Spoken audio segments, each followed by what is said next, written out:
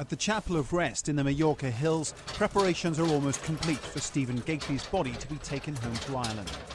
Spanish police will continue their investigation of what happened here at Gately's holiday apartment, but only as a matter of procedure. And in a statement, Stephen's partner, Andrew Cowles, has appealed for an end to hurtful rumours, particularly over the role of this man, their friend Georgi Dotchev.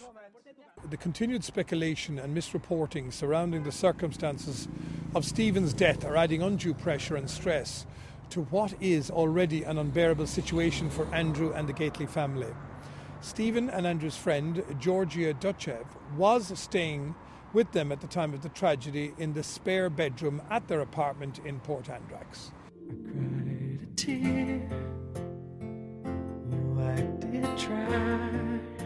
The funeral is confirmed for Saturday, and now the pallbearers have been finalised too. The surviving members of Boyzone will carry Stephen Gately's coffin, together with two of Stephen's relatives. A private mass in Dublin on Friday night will be followed at noon on Saturday by the full funeral service here at St Laurence O'Toole Church, a few hundred yards from Gately's childhood home.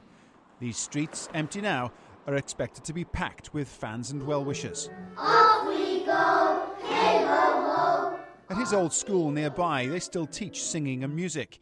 He was a star schoolboy swimmer before he became a star singer, but his teachers remember a boy who loved to entertain. I had him in first class, and from his earliest days, he was really interested in everything artistic, but especially in the performing arts. And uh, like lots of children down here, we deliver our curriculum through, um, you know, the arts. So yes, Stephen really, really shone there.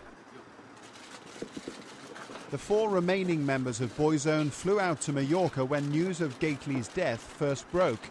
Now they will return to the island to accompany his coffin on the flight home to Dublin. Paul Brennan, Sky News.